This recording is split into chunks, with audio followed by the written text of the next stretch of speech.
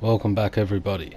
Okay, so if you're new to the channel, so smash that subscribe button, smash the like on the video guys and hit that notifications bell for all new uploads of GTA 5 online and new GTA 5 glitches. Okay, so this is a solo teleport glitch guys, even easier than before. This has been out for a little bit, but I thought I'd update you with this uh, video guys and let you know that it's all still working and it's a pretty simple glitch. So, alright, so all we want to do is uh, you get into a different targeting mode. You can be in free aim or you can be in aim assist or as long as you're joining someone that's in a different targeting mode. So and they don't have to be on your friends list. You, they can be in a community.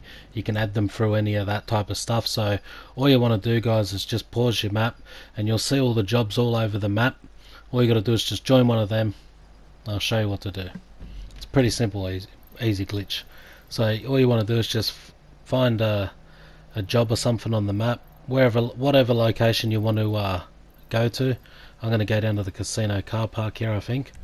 Yeah, alright, so what I want to do here is start the job, and then I'm going to double tap the PlayStation button, and it's going to take me to my, uh, to my, what do you call it, to uh, join someone in a different targeting mode. So it can be in a community, it can be a friend if you want, doesn't have to be a friend like I said. So you just want to accept the first alert, decline the second alert.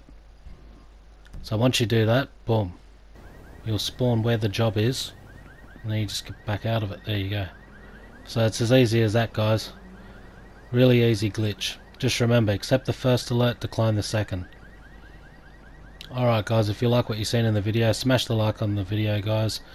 Smash the uh, subscribe button and make sure you join us for our uh, big car show tomorrow. Take it easy guys, peace out, and I'll see you in the next video. Take care.